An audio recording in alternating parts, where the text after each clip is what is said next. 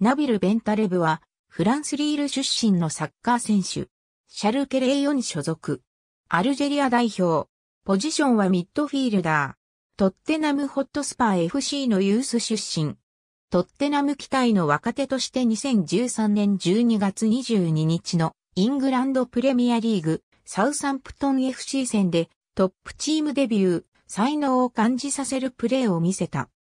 交代出場で3試合に出場した後、1月11日のクリスタルパレス FC 戦では初先発で起用されマンオブザマッチに選出される活躍を見せ、そこからリーグ6試合連続のフル出場を果たしている。2016年8月、シャルケレイヨンへ2016から17シーズン終了まで期限付き移籍。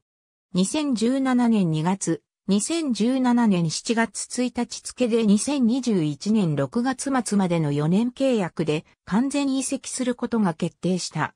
2019年3月、シャルケレイヨンはベンタレブをトップチームから追放したと公式発表した。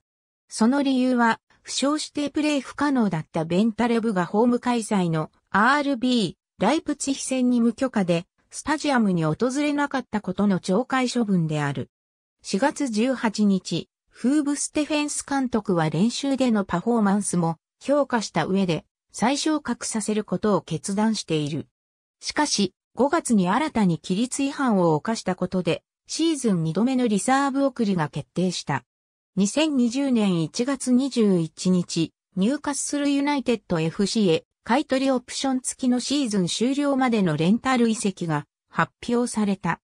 U-19 フランス代表としてプレーした経験があり、フランス代表を選択することもできたが、2014年1月、アルジェリアサッカー連盟は、ベンタレブが両親の母国であるアルジェリア代表を選択したことを発表した。2014年3月5日のスロベニアとの親善試合でアルジェリア代表デビュー。同年6月4日の親善試合ルーマニア戦で代表初得点を挙げた。ありがとうございます。